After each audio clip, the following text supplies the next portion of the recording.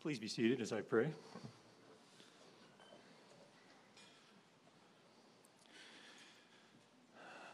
Father, you gave us a Savior.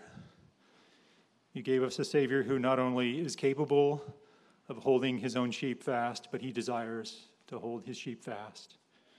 His sheep truly are his delight. I pray today, as we examine that Savior closely, you would allow us to see him for who he is, so that we could remember him how he needs to be remembered. Jesus, you are the Savior. We pray this in your name. Amen.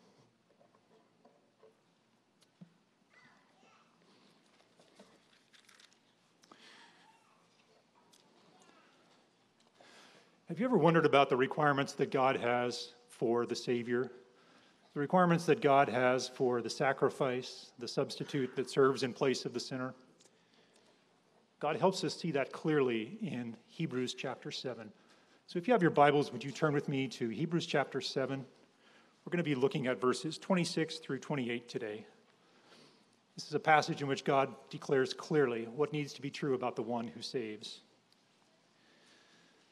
The theme of Hebrews is that Jesus is supreme, and Jesus has supremacy over all things.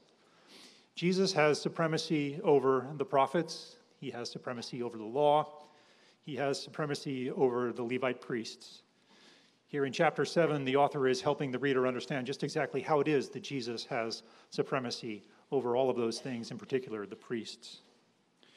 We're going to be reading verses 26 through 28, and as we read verse 26, Take note of the character of Jesus.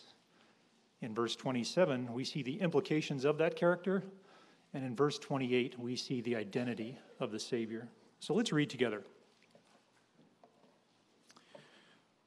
For it was fitting for us to have such a high priest, holy, innocent, undefiled, separated from sinners, and exalted above the heavens, who does not need daily, like those high priests, to offer up sacrifices first for his own sins, then for the sins of the people, because he did this once for all when he offered up himself.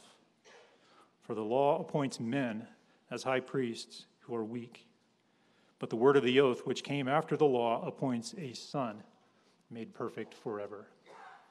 See the character of Jesus explained in verse 26. But we see first and foremost the word fitting. That means that God has a standard, God has a requirement God has a set standard that the substitute must meet. And then he explains exactly what that is. He must be holy, which means he must be separate from sin. He must be innocent, which means he commits no sin. He must be undefiled, which means that he's not polluted by the sin that one would commit. And it says that all of those things he is to be separated, separated from sinners. He is to be one of them and represent them, but in a way, he's to be separated from them. And at the end of the verse, we see how that is, and that is that he is exalted above them. Earlier in this letter, the author says that Jesus, the high Savior, the high priest, passed through the heavens and sits at the right hand of God. That is how we can see the distinction between Jesus and those that he substituted himself for. But in verse 27, we see more about this. We see the implications of what that holy character means. The author tells us a little bit more about the, the high priests in the Old Testament, the Levites, who actually did offer sacrifices. And we see that they had to do so daily. We see that their, their sacrifices were very different than from the sacrifice of the Savior. They would offer these sacrifices again and again and again. But notice how they would do this. They would do this first by offering a sacrifice for themselves. They had to offer a sacrifice for themselves because God required that the sacrifice itself be sinless and be holy. And then they had to offer sacrifice on behalf of all the people. But we see the distinction between the priests and we see Jesus and how he is so different from them at the end of the verse. And that is that he offered the sacrifice once and for all.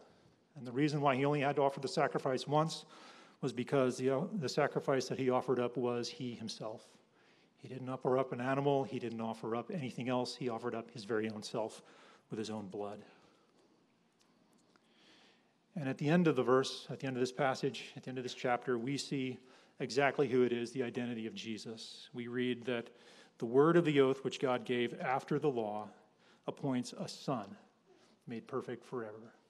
something very unique and very specific about Jesus, and that he was the Son of God. And the word Son here points to the exact issue, the exact identity of God Himself, made perfect forever. That's the way we want to remember Jesus this morning, the Son of God, who is holy, separate from sin, innocent, undefiled, and able and capable to serve in the place of sinners.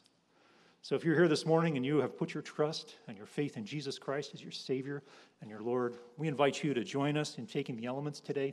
And as you do, sit and ponder and remember all of the character attributes of Jesus in verse 26. And then remember yourself this week. Remember how it is that Jesus is supreme in relation to us. And when you've done that, you can prepare your hearts and you can take the elements on your own when you're ready. If you're here this morning and you are not a follower of Jesus Christ, I want to ask you one question. That question is what kind of Savior, what kind of sacrifice, what kind of substitute do you have? God has a system of justice, and in his justice, he demands and he requires a perfect sacrifice. And there is one and only one of those. That sacrifice is Jesus. As the elements come to you this morning, we want you to know that we are very glad you're here this morning. We're glad you get to sit here and participate with us and worship with us. I want you to know that this is a time for believers who understand Jesus to be the man that this passage describes. Simply take the elements and pass them by to the person next to you. Have a wonderful opportunity after the service to talk with me or any one of the other elders about the nature of that Savior, the nature of that sacrifice. We would love to do that for you. So the men will come and serve us and take the elements on your own when your heart is prepared.